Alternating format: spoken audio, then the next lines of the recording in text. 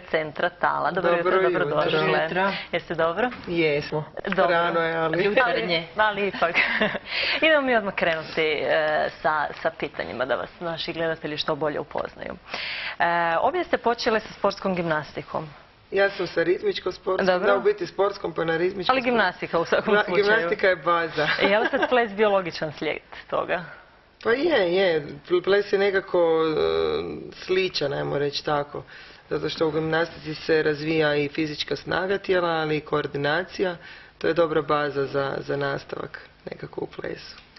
Vi ste se jedna i druga e, školovale, e, Larisa u Americi, jel da, Tamara u Belgiji.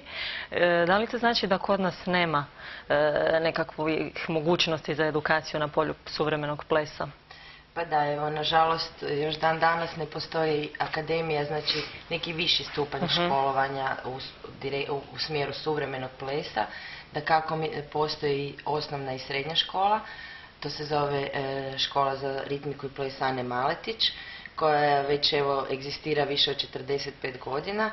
Međutim, nažalost, nikako da se osnuje i oformi taj jedan viši stupanj edukacije i naši mladi plesači redovno odlaze van na školovanje, neki se vrate e, i, Neki i eto, ostanu. pokušaju e, svo to znanje ovdje prenijeti i iz toga izgraditi jednu plesnu scenu koja je vrlo jaka trenutno u Hrvatskoj, a neki ostanu vani. Ali eto, vi ste se vratile Da, i mi bi htjeli da se što više ljudi naših vrate. pleša- plesača vrati, jer je to stvarno jedan osposobljen kadar koji bi stvarno ovdje mogao pravilno educirati e, sve zainteresirane za suvremeni ples. Educirate ih i vi. Osnovali ste 2000. godine plesni centar Tala kao profesionalne plesačice i koreografkinje. Ka- kako ste došle na tu ideju e, osnovati to u početku? To je ipak jedan veliki potez. Pa je, ali kak smo dugo godina živjele vani i radile vani, onda je to bio nekakav normalan slijed, pošto vani e, jako puno takvih centara postoji, pa smo po uzoru na takve e, centre otvorili i ovaj. Dakle, plesni centar Tala unutar svog širokog spektra šta sve radimo, ne, imamo i taj prostor u, Sla- u Savskoj 166, E, u tom prostoru u jutarnjim satima držimo treninge za profesionalce, znači otvoreni su klasevi, mogu doći svi, svi plesači, svi glumci, svi ljudi koji osjećaju da im treba ples, profesionalna recimo edukacija u suvremenom plesu, onda u popodnevnim satima prostor je otvoren za različite probe, da li su to plesne predstave, nekakvi nastup ili neki drugi projekti i od 5 do 10 na večer otvaramo vrata ljudima normalnima kao svi vi da e, slobodno mogu doći i polaziti tečajeve. Dakle, unutar plesnog centra Tala imamo i jazz i hip hop. To je nešto što je ljudima malo prisnije, znači što mogu e, nudimo i suvremeni ples i step i tako imamo i malu djecu i svašta. Vi cijeli dan radite? Cijeli Od jutra do mraka. cijeli dan radimo, ali to nam nije prim, mislim to nam je jedan od e, stvari koje radimo u plesnom centru. Imamo oko 200 polaznika, Mhm. za njih organiziramo e, i produkcije dva put godišnje i neke druge nastupiće tokom godine, čisto da se ljudi eto osjete šta je to biti na sceni. I ako se kod nekoga probudi zainteresiranost za znači ples, onda mu eto napravimo jedan program, neke ljude čak i spremamo za plesnu akademiju vani i tako eto pokušavamo stvarno ljude e, e, e, nekako im prikazati šta je to suvremeni ples i ples općenito i za svakog čovjeka adekvatno naći koja tehnika njemu odgovara. Evo, evo imamo ovdje i neke, e, hoćete nam prokomentirati od kud su to kadrovi? E, To je zadnja scena u predstavi muškarci u suknjama, a žene isto.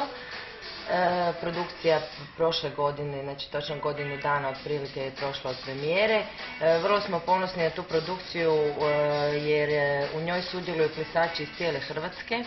Dakle, iz Rijeke i Pule i Zagreba, to je zaista jedan lijepi spoj različitih isto mentaliteta, to sve treba iskoristiti kad radite kao umjetnik nekakvu stvar, a također imamo i dvoje jako mladih unutra plesača, jedan od njih je trenutno na školovanju na Plesnoj akademiji u Amsterdamu, dakle zaista u svim segmentima pa i ovako profesionalnim nas- nastojimo mladim ljudima pružiti šansu, otvoriti im svoje vrata jer to je e, nešto što je mladom plesaču u Hrvatskoj vrlo teško krenuti i postati dio profesionalne plesne scene. E, može li se živjeti od, to, od profesionalne profesionalnog plesa? Pa eto, mnogi kažu jako teško, Mhm. međutim Tamara i ja smo ipak nekako našli e, put ono, u, u tom plesu i nekako smo se našli. Mislim, nije, nije sve bajno sjajno, ali eto, entuzijasti smo, borimo se i nikad se nećemo prestati boriti. Ono što je trenutno vrlo bitno i što sada pokušavamo nekako stvoriti je eto ta plesna akademija i nedostatak je, veliki je nedostatak plesnih prostora u gradu Zagrebu. Dakle, ples još uvijek nema kazalište, još uvijek nema prostor gdje izvoditi predstave, još uvijek e, iznajmljujemo prostore u dramskim kazalištima kako bi izvodili predstave i sad se borimo da eto stvorimo jedan plesni centar, da stvorimo jedan koreografski centar kao što i svaka u biti europska metropola i ima.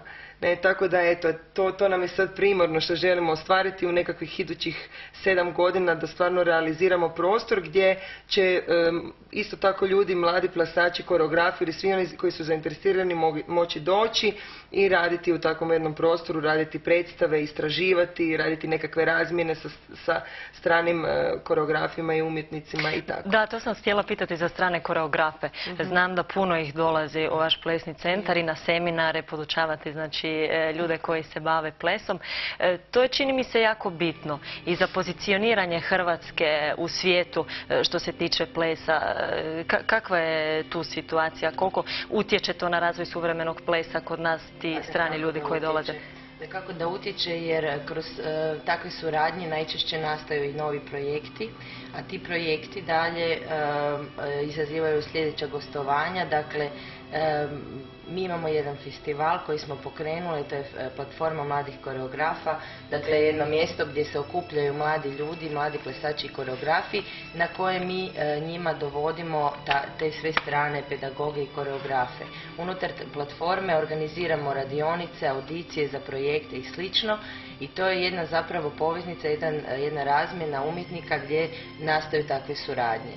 E, imali smo sreću, evo Vicente Silva Sanines je bio tu 2002. godine, to je jedan meksički vrlo priznati i cijenjeni koreograf koji s nama napravio jedan projekt s kojim smo kasnije proputovali cijeli Meksiko, da kako i po Europi smo gostovali, ali ono taj, to gostovanje u Meksiku je zaista bilo i dugotrajno i vrlo, vrlo uspješno. E, sada nam dolazi Karen Levi, trenutno vrlo jedna mlada perspektivna koreografkinja koja radi u Amsterdamu, s njom također planiramo u toku platforme napraviti audiciju za sljedeći projekt. I tako to jedno veže drugo, jer gradi se e, osim koreografa i pedagoga, tu su i stručni savjetnici koji dolaze izvana i nekakva, nekakva jedna mreža partnera, e, stranih partnera koji nam i savjetima i svojim nekakvim primjerima e, da kako i mi njima pomažemo i oni nama u afirmaciji ove umjetnosti koja u cijelom svijetu zapravo se bori. E, U koju god zemlju pitate kakva je situacija, uvijek se suvremeni ples zapravo bori za jedno svoje mjesto jer on je relativno mlada umjetnost naspram klasičnog baleta ili neke druge. Znači nije samo kod nas takva situacija. s plesom, Nije, nego ali je definitivno jedna vrlo zanimljiva umjetnost i definitivno je nešto gdje, gdje, gdje se svako može izraziti. Mhm. Pošto se radi o neverbalnoj umjetnosti, a recimo dramski, dramska umjetnost ima s tim, znači ima nekakvu jezičnu barijeru. U plesu toga nema. Znači ples može gostovati stvarno po cijelom svijetu i svima može biti razumljiv, a i tu je disciplina tog tijela koje stvarno na sceni može izgledati jako ovoga, ono, zanimljivo, ajmo reći tako. E, vi ste nam donijeli karte. Jesmo. Za, za što? Evo, sad malo prije ste vidjeli isječak iz naše zadnje predstave, dakle, ovo zadnje što smo napravili u Zagrebačkom kazalištu Lutaka. Ovim putem bi pozdravila sve ljude iz Zagrebačkog kazališta Lutaka i direktora zbog toga što su nam stvarno otvorili vrata i sve naše zadnje predstave koje izvodimo unazad nekakvih e, mjesec i pol dana se dešavaju tamo. Dakle, isto Zagrebačko kazalište Lutaka, 10.4. naša nova predstava Lift i Sjeme. Lift sam koreografirala i ja, Sjeme Tamara. I ovoga, vrlo su zanimljive predstave zbog toga što smo stvarno opet, kao i uvijek što pokušavamo, okupili u tim projektima ljude koji su iz drugih nekakvih grana, iz drugih ansambala, iz drugih dijelova Hrvatske. Tako Tamara evo pleše sa e, Ognjemonom Vučinićem. Evo imamo telefon. E, dobro jutro. Dobro jutro. Dobro nam došli. E, još bolje vas našla. E, Prvi kako ste? se sad uključila pa vidim da idete uživo. Idemo, da. E, kako ste? Evo, koji ovo vrijeme malo sunčano, malo kišovito i tako. Ali sve u svemu nije loše. Do kraja dana ću biti dobro. E, recite nam, e, niste nam rekli kako se zovete. Zovem se Katica. Katica, dobro nam došli. E, vi bi išli u, na malu scenu 10.4. jel da? Bi, bi. Dobro. Dakle, evo, 10.4. u 20 sati Zagrebačko kazalište Lutaka. Lift i sjeme predstavlja. Jel za dvije osobe ili jedno? Bi si neka Za povela? dvije, za dvije osobe. Za dvije. Je. Desetog četvrtog. Je, eto, bit će nam drago da pogledate naše predstave. Evo, hvala vam. Hvala vam na pozivu, gospođo Katica. Samo stavite svoje podatke u režiji, U nemojte redu, odmah u redu. prekinuti. Hvala vam. Dakle, dakle, htjela bih samo dovršiti, znači Ognjen Vučinić koji je Zagrebačkog plesnog ansambla, a u mojoj predstavi e, sudjeluju Bojan Valentić koji inače pleše u komediji i još tri umjetnika koji su inače radili i kostim za predstavu i glazbu i scenografiju i video. Oni su svi na sceni i plešu zajedno s nama, tako da je to eto zanimljivo. E, koji su planovi za budućnost Plesnog centra Tala? Veliki. Osim ovog prostora što ste Pa nam već iz ovog rekli. kratkog razgovora mogli ste vidjeti da se mi zaista na svim poljima bavimo svojom umjetnošću, dakle ne bavimo se nažalost samo u dvorani radom, istraživanjima i nekom kreacijom, nego i organiziramo različite stvari od škole do ovakvih festivala.